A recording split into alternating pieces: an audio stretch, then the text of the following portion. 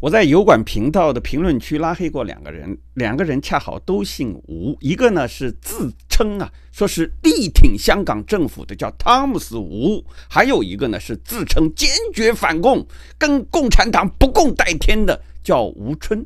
特点是他们的评论都非常的偏执、张狂、极端、反复无常且不说人话。那么后来呢？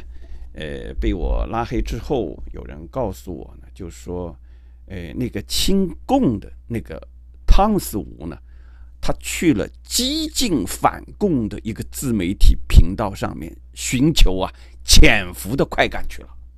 另外那个坚决反共的那个叫吴春的呢，去了一个极端亲共的啊一个自干五的频道，享受正能量的快乐。他们都找到了重口味的快乐，我祝福他们游戏人生成功。